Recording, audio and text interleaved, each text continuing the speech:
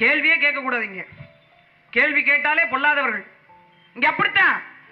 ஏன்னா அந்த ஆறு பேர் நான் சொன்னேன்ல வட மாநிலத்துக்காரன். ஒரு பெண்ணை பாலியல் வன்கொடுமை செஞ்ச அந்த ஆறு பேர் மீது வழக்கு போடுறதுக்கு காவல்துறை யோசிக்குது. ஏன்? சின்ன பாஸ் ஸ்டாலின் ஐயாவுக்கு வலிக்கும் பெரிய பாஸ் மோடி ஐயாவுக்கு வலிக்கும்னு. நாங்கள் கேட்கிறோம் உள் நுழைவு சீட்டை ஏன் அமல்படுத்தல? நாங்க பந்தல்ராஜன் சொல்லும்போது கேட்கிறாருல நாங்கள் கேட்கிறோம். வெளி மாநிலத்திலிருந்து இங்க பிழைக்க வந்தவர்களுக்கு உள் மா- நுழைவு சீட்டை நீங்க அனுமதி கொடுக்கறது கொண்டு வாங்கங்கிறோம். அப்படி சட்டம் முதல் சீட்டே ஸ்டாலின் ஐயாவுக்கு தான் கொடுக்கணும். அவர் வெளிலேருந்து வந்தவர் தானே? ஃபர்ஸ்ட்ல நாங்க தோண்டி எடுப்போம். அப்படிதான் யாரெல்லாம் தமிழர்கள் பேசும்போது உங்களுக்கு அவ்வளவு வலிச்சது? அவ்வளவு வலிச்சது? உங்க சித்தப்பா தான் சொல்லுகிறார் நாங்கெல்லாம் தெலுங்கு தான் நாங்கள் ராஜபக்சேவும் ஒன்று விட்டு சித்தப்பா தான் பேசுகிறாரே. அப்ப நாங்க கேட்போம்ல உங்களுக்கு முதலில் உள் நுழைவு சீட்டு வழங்கி விட்டு பிறகு வடநாட்டுக்காரனுக்கு சேர்த்து வழங்கு. வடநாட்டுக்காரன் நீங்கள் ஒத்தையா நிக்கிறீங்க நீங்க சின்ன பிள்ளையா நிக்கிறீங்க நாங்க பதிமூன்று கட்சிகளோட கூட்டணி. இது வெக்கமே இல்லாம வேற. ஒத்தையா நிக்கிறதுக்கு பேர் தான் வீரம். புலி தனிச்சுதான் களமாடும் தெரியுங்களே. ஒத்தையா நிக்கிறது பேர் தான் வீரம். பத்து பேரை கூட்டிட்டு வந்து ஒத்தையாள்கிட்ட மோதிட்டு இருக்கிறது வீரம் அல்ல நான் மீண்டும் சொல்லுகிறேன் திராவிட முன்னேற்ற கழகத்தில் இருக்கிற கூட்டணி கட்சிகளுக்கும் சொல்லுவேன். தோழர் லீலாவதியினுடைய கொலை வழக்கை நீங்கள் மறந்திருக்கலாம். நாம் தமிழர் கட்சி மறக்கல. அண்ணன் திருமாவளவனுடைய கொடியை உங்களுடைய கூட்டணி கட்சியில் பறக்க விடவே நீங்கள் அனுமதிக்க பரல நீங்க எல்லாம் சேர்ல உட்கார்ந்து இருக்கீங்க அவரை நிக்க வைத்துக் கொண்டு பேசுனீங்க. நீங்கள் மறக்கலாம். நாங்கள் மறக்கல. நாங்கள் மறக்க மாட்டோம். ஏன்னா சாதி அடிமைத்தனத்தை கொண்டு வந்து மக்களுக்கான பிரச்சனைகள் எல்லாம் பேச விடாமல் கண்மூடி மறைப்பது போல மண்மூடி மறைப்பது போல மறைத்தது திராவிட முன்னேற்ற கழகம். நீங்க மறந்து போகாதீங்க கடந்து போகாதீங்க. என்னென்ன நடத்துவாங்க தெரியுமா நாடகம்? கச்சத்தீவை இவங்களே கொடுப்பாங்க. இவங்க தான் வைப்பாங்க இவங்களே எடுப்பாங்க. இப்ப பேசுறாங்க எங்க அஞ்சு வருஷமா அஞ்சு பீரியடா ஐந்து ஐந்து ஐந்து ஆண்டு காலமா இருபத்தைந்து ஆண்டு காலமா கச்சத்தீவை மீட்போம் கச்சத்தீவை மீட்போம் கச்சத்தீவை மீட்போம். இப்பயும் கொடுத்துருக்காங்க கச்சத்தீவை மீட்போம். அதே மாதிரி என்ன பண்ணாங்க? இந்த எய்ம்ஸ்னு ஒரு மருத்துவமனை கட்டுறதுக்கு ஐயா ஸ்டாலினுடைய சொந்தக்காரர் ஐயா மோடி அவர் வந்து ஒரு அடிக்கல் நட்டுட்டு போனார். ஒரே ஒரு செங்கல்ல நட்டுட்டு போனார். இந்த இடத்துல எய்ம்ஸ் மருத்துவ கல்லூரி வருது அப்படின்னு நட்டுட்டு போனார். அதே நிலைமை தான் கடலூர் மருத்துவக் கல்லூரிக்கும். இங்கேயும் ஒரு கல் நட்டாங்க. கடலூர் மாவட்டத்தில் மாவட்ட தலைமை மருத்துவமனையை மருத்துவக் கல்லூரியாக தரம் உயர்த்தி எல்லா விடயங்களையும் அந்த மருத்துவமனையில் நாங்கள் செய்து வைப்போம் அப்படின்னு போனாங்க. அந்த கல்லை உதயநிதி ஸ்டாலின் தூக்கிட்டு போயிட்டார். ஒரு கல்லாவது இருந்துச்சு. இப்போ அந்த கல்லும் காணும். இவங்க களவாண்டு வந்துட்டாங்க. கடலூர் மாவட்டத்தில் தொடங்கி வச்சிருந்தா அந்த கல் வைக்கப்படவே இல்லை. இது ரெண்டு அதான் வித்தியாசம். இப்போ நாங்கள் என்ன கேட்குறோம் உங்களுக்கு இவங்க பேசும்போது சொன்னதுதான் உங்களுக்கு அரசாங்கத்தினால் நடைமுறை செய்யப்பட்ட மருத்துவமனையிலே உங்களுக்கு மருத்துவம் எடுத்துக்கொண்டால் என்னால் பிழைக்க முடியாது என்று காவிரிக்கும் அப்பலோக்கும் ஓடினீங்க பணம் இருந்தது என்னுடைய ரத்தம் இருந்தது எங்களுடைய வரிப்பணம் உங்கள் கையில் இருந்தது நீங்க ஓடிட்டீங்க. ஆனா நாங்க உங்களுக்கு வாக்கு செலுத்தி விட்டு வறுமை நிலையிலேயே ஏழைகளாக வாழ்ந்து கொண்டிருக்கோம் பத்தியா? எங்களுக்கு இருக்கிறது அரசு மருத்துவமனை தான். குறைந்தபட்சம் மக்கள் நல்வாழ்வுத்துறை அமைச்சராக இருந்த அண்ணன் மரியாதைக்குரிய அண்ணன் பன்னீர்செல்வம் அவர்கள் எம்ஆர்கே அவர்கள் இந்த மருத்துவமனையாவது தரம் உயர்த்தி உங்கள் தரத்தையும் நீங்கள் மேம்படுத்திக் கொள்ளுங்கள் என்று நாங்கள் விளைகிறோம். அஞ்சு வருட காலம் அஞ்சு பீரியட் காலமா இருந்துட்டு ஒரு சரியான சாலையில உண்மையிலே பாலாறும் தேனாரும் ஓடணுங்க. பாலாறும் தேனாரும் ஓடணும். இப்ப இந்த குறிஞ்சிப்பாடி பகுதிக்கு பாதாள சாக்கடை திட்டம். எழுபது கோடி சாங்ஷன் ஆகுது. செவன்டி குரோர்ஸ் ஆனா 17 crores ஸ்வாஹா 24% ஃபோர் பர்சன்டேஜ் இருபத்தி நாலு விழுக்காடு. விழுக்காடு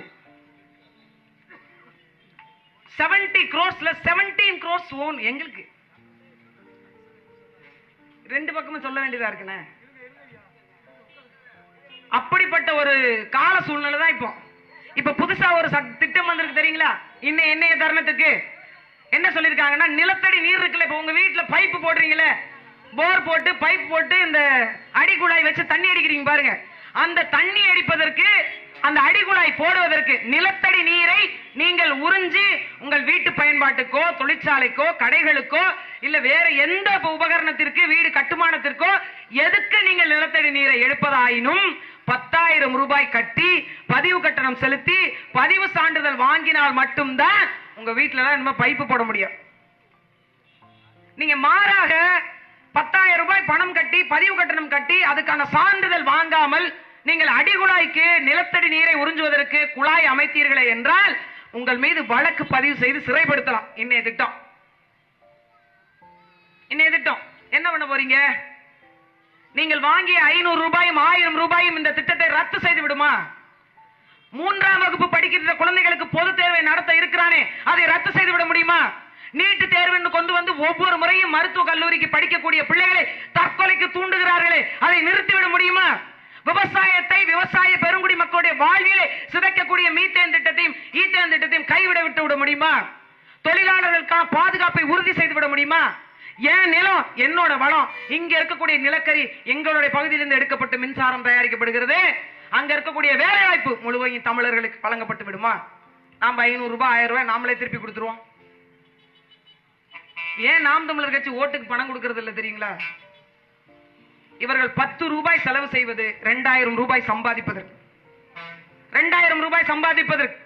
மக்கள் பிரச்சனையை தீர்ப்பதற்காக இவர்கள் காசு கொடுத்து உங்களுக்கான உதவி செய்ய வராங்க தேர்தலுக்கு முன்னாடி எங்க பார்த்தாலும் மேடை போட்டு அம்மையார் கனிமொழி பேசினாங்க. என்ன பேசினாங்கன்னா தமிழ்நாட்டில் தான் இளம் விதவைகள் அதிகமாயிட்டாங்க. எங்க பார்த்தாலும் சாராய கடைகளை எடப்பாடி திறந்து வைத்திருக்கிறார். அதனால உடனே சட்ட மூடுங்க அப்படின்னு சொன்னாங்க. கொஞ்சம் யோசிக்காம பேசிட்டாங்க. ஏன்னா சாராய ஆலை நடத்துறதெல்லாம் இந்த அம்மா தான். சாவி ஃபுல்லா இவங்ககிட்ட தான். நாங்கள் வந்தால் நிறுத்தி விடுவோம். நானுமே சொன்னேன். அம்மையார் கனிமொழி அம்மையார் வந்தாதான் நிறுத்த முடியும். சாவி இருக்கிறவங்க தானே அதை போய் பூட்ட முடியும்? நம்மளால எப்படி பூட்ட முடியும்? அந்த அம்மா தான் ஆலை வச்சிருக்காங்க. அவங்க நினைச்சா தான் சாராய ஆலையை மூட முடியும். பெண்களுடைய வாழ்க்கை பத்தி மிகவும் கவலைப்பட்ட கனிமொழி அம்மா. ஆட்சி அதிகாரத்துக்கு வந்த பிறகு என்ன சொல்லுகிறார்? இருபதாயிரம் கோடி அதிலிருந்து இருந்து தான் வருமானம் வருகிறது. சாராய ஆலையை மூடிவிட்டால் நாடு நடத்த முடியாது என்ற கேவலத்தை சாராயம் தான் உங்களுக்கான அரிசி பருப்பை கொடுக்கிறேன் என்று அப்பட்டமாக சொல்லி வருகிறார். அவங்களே சொல்றாங்க அந்த அம்மாவே சொல்றாங்க. ராமேஸ்வரத்தில் நடந்த கொடுமைக்கு காரணம் என்னன்னு அந்த குற்றவாளிகளை பிடிச்சு கேட்கிறாங்க ஏன்டா இந்த மாதிரி அந்த பெண்ணை பாலியல் வன்கொடுமை செஞ்சேன் நான் போதையில் இருந்தேன். நான் குடித்து விட்டு இருந்தேன் அந்த டாஸ்மார்க் நிறுவனங்களை நடத்துகின்ற வாழ ஓனர் ஐயா ஸ்டாலின் அவர்கள் மீது வழக்கு இல்லை. உங்களுக்கு தெரியுமில்ல கொலை செய்பவரோட கொலைக்கு கொலைக்கு உடந்தையா இருந்தவர்களுக்கு தானே தண்டனை அதிகம். அப்படி பார்த்தா பாலியல் வன்கொடுமைக்கு காரணமா அந்த சாராய ஆலையினுடைய அதிபர்? அம்மையார் கனிமொழிக்கும் அதை நடத்துவதற்கு உத்தரவு பிறப்பித்த அண்ணன் ஸ்டாலின் அவர்களுக்கு மீதும் தானே வழக்கு சேர்த்து பதிவு செஞ்சிருக்கணும்? எவ்வளவு துன்ப துயரம் பாருங்க. எவ்வளவு துன்ப துயரம் இதை எடுத்துருங்க இதெல்லாம் இதெல்லாம் கடந்து நாம் போகணும். உழைக்கின்ற காசுல உழைக்கின்ற காசுல நான் ஐநூறு ரூபாய் நெத்தி வேர்வை நிலத்துல சிந்தி சம்பாதிச்சு நான் வீட்டுக்கு கொண்டு போறது 250 ரூபா. 250 ரூபா கவர்மெண்ட் கொடுத்து விட்டு தான் போகணும். ஏன்? தெரு நீட்டுக்கு கடந்து போறோம். வீட்டுக்கு போற இடத்துல அஞ்சு கடை.